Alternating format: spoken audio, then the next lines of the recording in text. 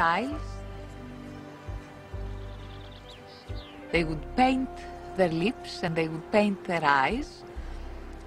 And uh, the men also would uh, wear a short uh, a loincloth and they had lovely figures. They had uh, very narrow waists and wide shoulders. I think they were quite, quite good looking. On festival days, enormous crowds would make their way up these steps to watch one of the most unusual athletic events ever staged. They would bring a bull in that they would have been keeping specially for this occasion. There would be boys and girls, acrobats, that would actually jump over the back of the bull. There would be other boys and girls to catch them. Could this dangerous sport recall the legend of boys and girls sacrificed to the Minotaur? Might the monster have been hidden in the dark recesses of this palace along its labyrinthine passages? One thing is certain, Knossos, with its 1,400 rooms, was once the capital of a great power. The magnificent palaces discovered on Crete shared one remarkable trait. None was fortified. These were not a militaristic people. Rather, they seem to have been cultured and advanced, not unlike the people in Plato's story of Atlantis. The legacy of the Minoans was a love of art, a love of color, perhaps a love of life. Also, the remembrance that once on the island of Crete, there existed a civilization that was peaceful and that had great achievements.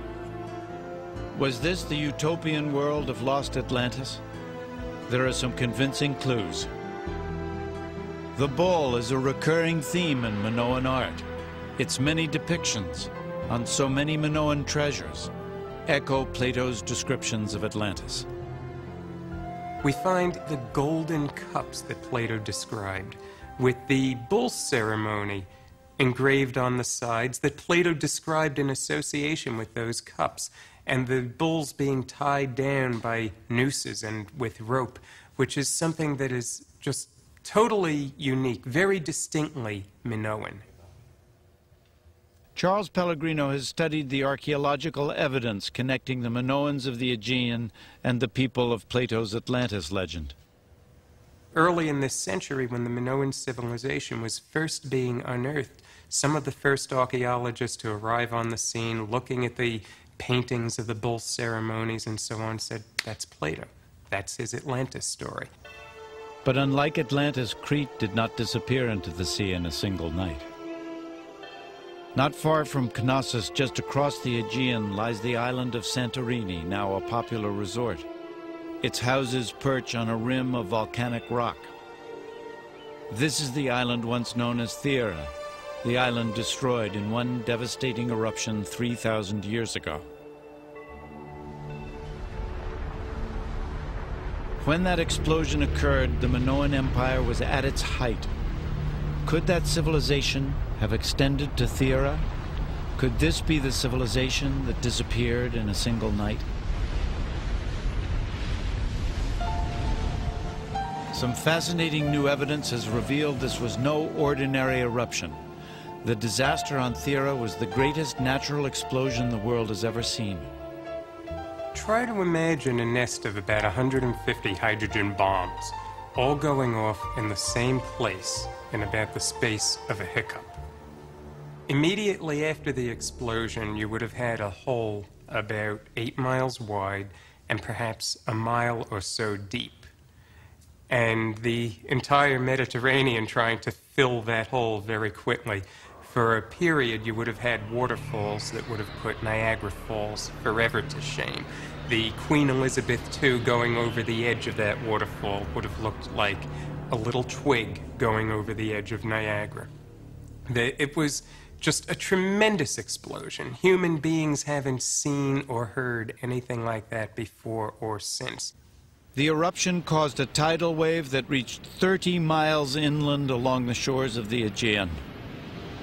The wave uh, would have reached heights of about 800 feet. If you try to imagine a wave that reaches just about halfway up the Empire State Building. The blast itself must have been felt continents away. Forensic science and ancient records make it possible to pinpoint 1628 BC as the year it struck, sending a dense cloud of ash across the Middle East and around the world. For nine days no one could see the face of his fellow. The sun is covered and does not shine in the sight of men. If only it would shine even for one hour. No one knows when it is midday. One shadow is not discernible. The sun in the heavens resembles the moon. Those words of an Egyptian scribe recall biblical descriptions of darkness covering the earth. There is evidence of the precise year the ash cloud reached China. In the 29th year of King Jie, the sun was dimmed. Ice formed in the summer mornings and frost in the sixth month. Heavy rain toppled buildings and temples. The five cereal crops withered and died.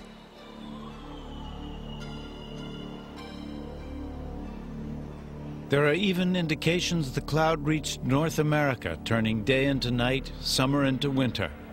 In California, the core of a 5,000-year-old bristlecone pine shows a ring of dark cells dating back to the same year.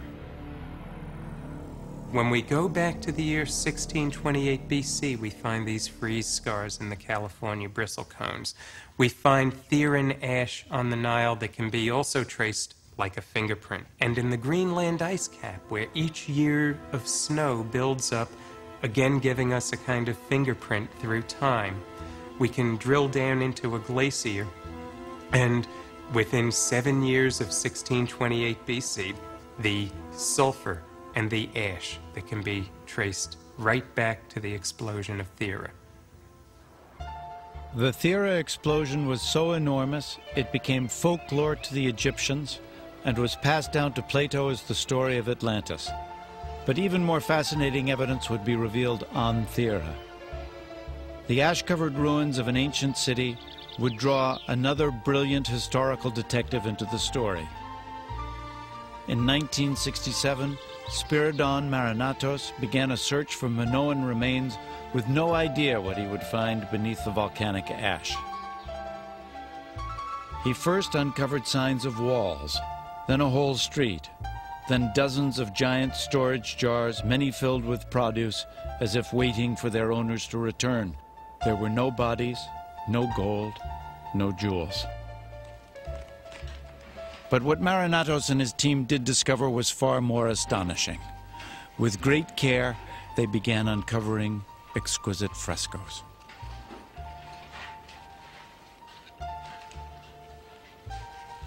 In the 20th century, paintings wonderfully preserved for 3,000 years in a tomb of ash were revealing a picture of life in this long forgotten town.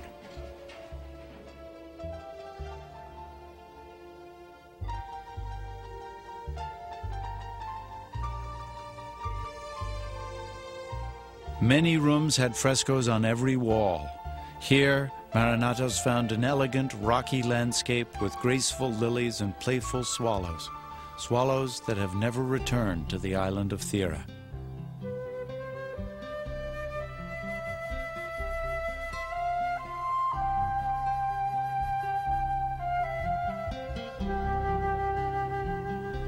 We find frescoes in every home, practically in every room, of what the people loved, apparently.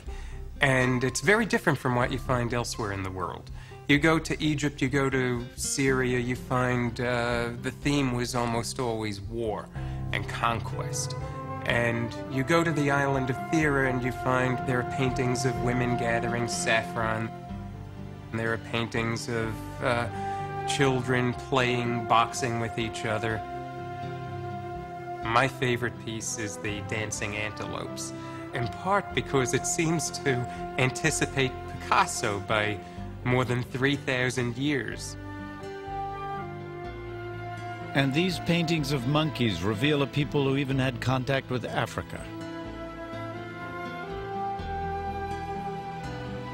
As on Crete, women wore diaphanous blouses, elegant dresses, and hairstyles.